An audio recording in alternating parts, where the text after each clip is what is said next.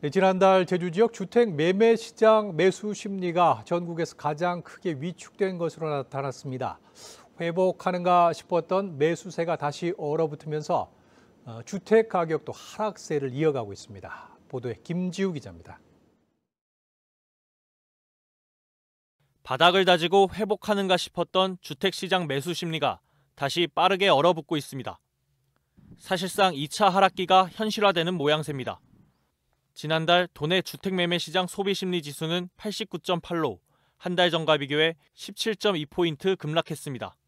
전국 17개 시도 가운데 가장 큰 하락폭이며 매매시장 소비심리가 80선에 그친 건 지난 2020년 5월 이후 3년 6개월 만입니다.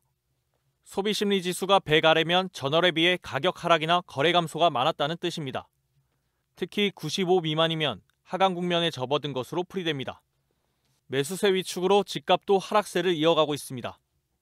지난달 도내 주택종합 매매 가격은 한 달 전과 비교해 0.07% 떨어졌습니다.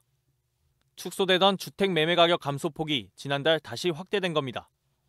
주택 유형별로 보면 아파트가 0.1%, 연립주택과 단독주택이 나란히 0.06% 떨어지며 모든 유형에서 하락세를 기록했습니다. 제주를 비롯해서 전국이 어, 하락폭을 보이고 있습니다. 이거 이 이유로는 고물가 고금리가 당분간 지속될 것으로 예상되는 가운데 대내 여건으로 인한 경기 둔화와 부동산 PF 등 금융시장 불안 등이 심리지수 하락에 영향을 준 것으로 보입니다. 시장에서는 한때 집값 저점 인식으로 매수 심리가 반등했으나 고금리 기조와 시장에 이렇다 할 호재가 보이지 않으면서 재차 관망세가 짙어질 수 있다는 전망이 나오고 있습니다. KCTV 뉴스 김지우입니다.